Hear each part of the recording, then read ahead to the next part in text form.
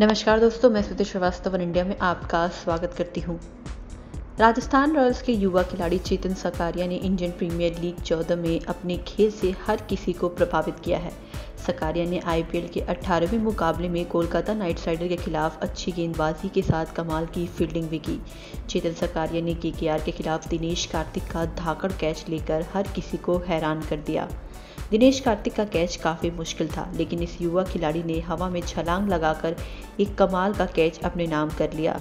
बल्लेबाज दिनेश कार्तिक को यकीन ही नहीं हुआ कि उनकी किस्मत इस तरह से दगा दे सकती है।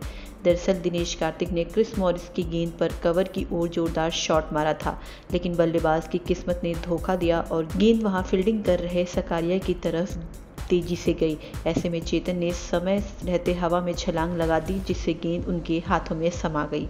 बता दें, इस तरह से दिनेश कार्तिक अच्छा शॉट मारने के बाद भी आउट हुए। इस मैच में चेतन सकारिया ने चार ओवर में इकतीस रन देकर एक विकेट भी अपने नाम किए। युवा खिलाड़ी ने नीतीश राणा जैसे बल्लेबाज को आउट कर के को जोरदार झटका दिया। लेकिन के के बल्लेबाज दिनेश कार्तिक के कैच ने साकरिया को हीरो बना दिया। के के पूर्व कप्तान का कैच लेने के बाद साकरिया ने इसका जश्न भी अनोखे अंदाज में मनाया।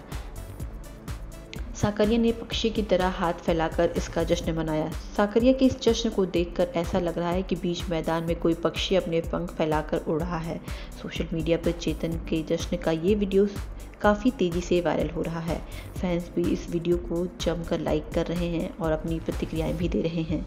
आपको बता दें, चेतन साकरिया का ये पहला आईपीएल है। वो पिछले सीज़न में रॉयल चैलेंजर बेंगलोर के साथ बतौर नेट गेंदबाज जुड़े थे।